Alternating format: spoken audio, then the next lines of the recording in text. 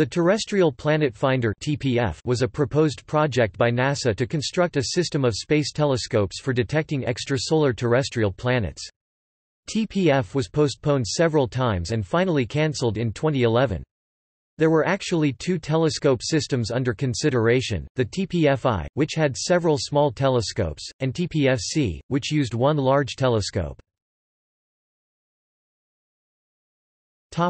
History In May 2002, NASA chose two TPF mission architecture concepts for further study and technology development. Each would use a different means to achieve the same goal to block the light from a parent star in order to see its much smaller, dimmer planets. The technological challenge of imaging planets near their much brighter star has been likened to finding a firefly near the beam of a distant searchlight. Additional goals of the mission would include the characterization of the surfaces and atmospheres of newfound planets, and looking for the chemical signatures of life. The two planned architectures were Infrared Astronomical Interferometer TPFI, multiple small telescopes on a fixed structure or on separated spacecraft floating in precision formation would simulate a much larger, very powerful telescope. The interferometer would use a technique called nulling to reduce the starlight by a factor of 1 million, thus enabling the detection of the very dim infrared emission from the planets. Visible light coronagraph TPFC, a large optical telescope, with a mirror 3 to 4 times bigger and at least 100 times more precise than the Hubble Space Telescope, would collect starlight and the very dim reflected light from the planets. The telescope would have special optics to reduce the starlight by a factor of 1 billion, thus enabling astronomers to detect faint planets. NASA and Jet Propulsion Laboratory (JPL) were to issue calls for proposals seeking input on the development and demonstration of technologies to implement the two architectures and on scientific research relevant to planet finding. Launch of TPFC had been anticipated to occur around 2014 and TPFI possibly by 2020.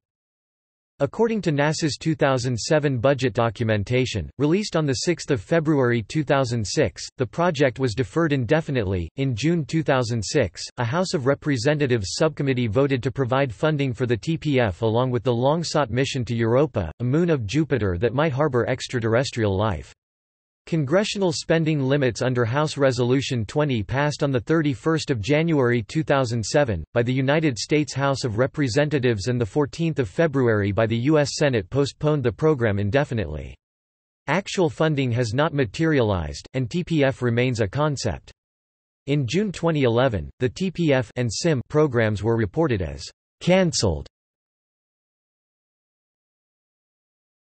Top 10 target stars Topic. See also.